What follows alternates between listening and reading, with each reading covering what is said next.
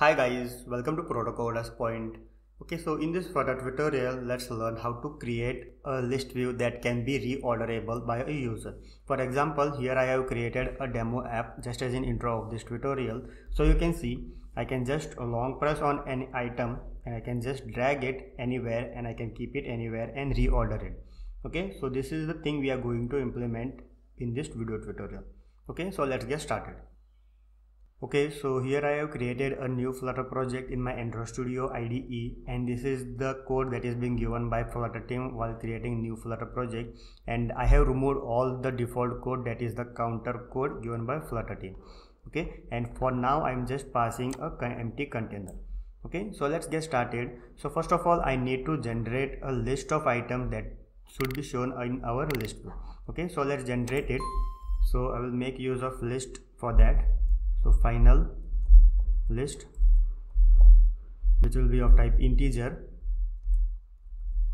item list object name is equal to list dot generate. And here I need to pass the length that I want to generate for this list. So I will just pass it as 16 something and I will just pass the index that is been generated okay so i am just uh, generating a integer type list in this list view list of array okay? And now i can use this to show in our list view okay? So let's do that okay? So i will just remove this empty container and instead of that i will just make use of reorderable list view okay? So here there is a mandatory uh, properties that we need to use. So the first thing is a child and the second one is a reorderable uh, function. Okay so these are the two properties that we need. Okay so here we, it will come our logic.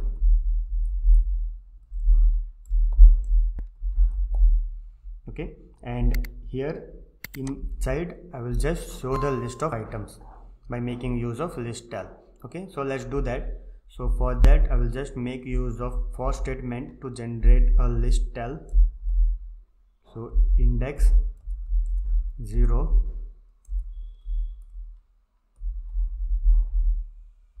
index is less than item list dot length and index plus plus. Okay so just increment the index and here I am going to create a list tile list tile and inside the list tile I will just use a title. So inside title I can make use of a text widget. Okay so I will just name it as uh, item. Item list dot uh, sorry the index okay? And here we need to pass a key for this list tile else the reorderable list will not work okay? So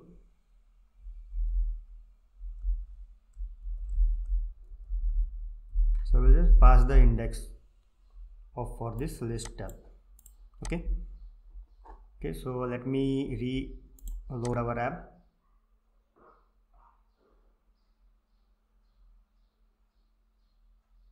okay so you can see we have our list view been generated. Okay so now I can just move it but it is not working. Because here we need to apply our logic in this reorderable class or a property. Okay so let's do it now. Okay so here there are two parameters. One is old index and another is new index. So for example i'm just holding the item 4 and I'm just dragging it, dragging it to a new position. So it was the old position over here and I'm just dragging it over here. So this is the new position. Okay? So we need to apply our logic over here. Okay? So let's do that. So for that I will just make use of state manager uh, state uh, set state to apply the changes. So if new index is greater than old index then new index will be minus 1 okay? And then outside of this if statement final int temp is equal to item list of old index okay so here i am going to just store the item uh, data in this temp variable. Okay. Uh, now item list dot remove at position. And here I will just pass our old index and then